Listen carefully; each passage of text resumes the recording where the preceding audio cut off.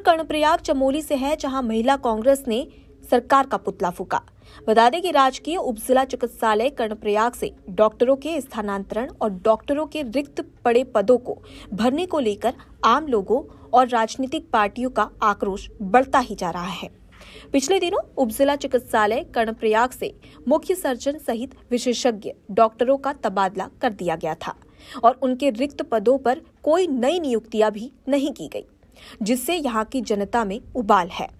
आज कर्णप्रयाग में महिला कांग्रेस की जिला अध्यक्ष गोदावरी रावत के नेतृत्व में कांग्रेस कार्यकर्ताओं ने भारी संख्या में एकत्र होकर भाजपा सरकार का पुतला दहन किया। उनका कहना था कि अनुभवहीन थामी की भाजपा सरकार पहाड़ में स्वास्थ्य सेवाओं को बदहाल करने पर उतारू है और सरकार की ऐसी जन विरोधी नीतियों का पुरजोर विरोध किया जाएगा। कांग्रेस कार्यकर्ताओं ने डॉक्टर के बदले डॉक्टर की मांग की है। साथ ही कहा कि जब तक डॉक्टर नहीं, तब तक यहाँ के डॉक्टरों का स्थानांतरण नहीं होने दिया जाएगा।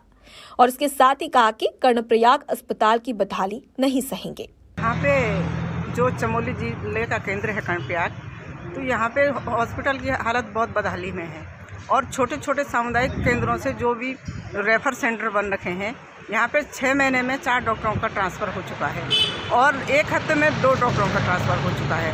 जो राजीव शर्मा जी यहाँ पे सर्जन थे, उनके आश्रय पे पूरे लोग यहाँ पे आते थे इलाज के लिए। हमें एक विश्वास था कि हम कर्णप्रयाग जा करके हमारा स्वास्थ्य ठीक हो सकता है, लेकिन उनका भी ट्रांसफ़र कर दिया गया है। हॉस्पिटल की बदहाली के लिए हॉस्पिटल में डॉक्टर नहीं है हड्डी विशेष रोग नहीं है, सर्जन की बदली हो गई, उसके, उनके स्थान पे दूसरा डॉक्टर नहीं आया है। हमेशा डॉक्टरों की यहाँ बाल विशेष रोग ये सिर्फ़ दो डॉक्टर यहाँ पे मिलते हैं, एक मिश्रा जी, एक दूसरे और बाकी कोई डॉक्टर हॉस्पिटल में नहीं है। तो इसलिए हम चाहते हैं कि डॉक्टर को अति शीघ्र हॉस्पिटल में भेजा जाए और हॉस्पिटल की जो बदहाली है, उसको दुरुस्त किया जाए। देखिए, आज महिला कांग्रेस के द्वारा यहाँ पे जो हमारा उप जिला चिकित्सालय खंडप्रयाग है उसमें लगातार जो है डॉक्टरों के स्थानांतरण हो रहे हैं और लेकिन उनके स्थान पे कोई दूसरा प्रतिस्थानी नहीं आ रहा है।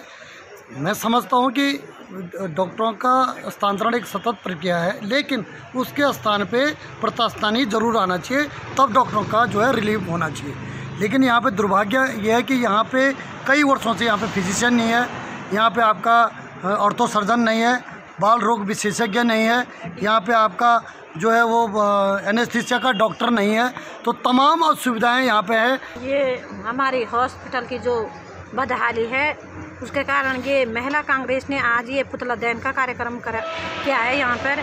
क्योंकि छः महीने के अंदर अंदर यहाँ पर चार, दो डॉक्टर पहले अंतर हो गए हैं। दो डॉक्टर और चार डॉक्टर छः महीने के अंदर चले गए। उसके बावजूद यहाँ पर दूसरे डॉक्टर नहीं आ रहा। हम चाहते हैं कि यहाँ पर अगर डॉक्टरों की अगर यहाँ पर ट्रांसफ़र किया जा रहा है तो उसके जगह पर दूसरे डॉक्टर यहाँ पर आए क्योंकि दो महीने पहले ज़िले में यहाँ पर एक सर्जन आ रखा है। उसका कारण यहाँ के सर्जन पर क्योंकि पहले सब जानते हैं कि चमोली जिला का जो कणप्याग पर है कणप्याग जो हमारे हॉस्पिटल है चाहे अन्य जो भी है केंद्र बिंदु है यहाँ पे पूरे ज़िले के जो मरीज़ आते थे जो अस्वस्थ आते थे सब कर्णप्रयाग के आशे पे आते थे।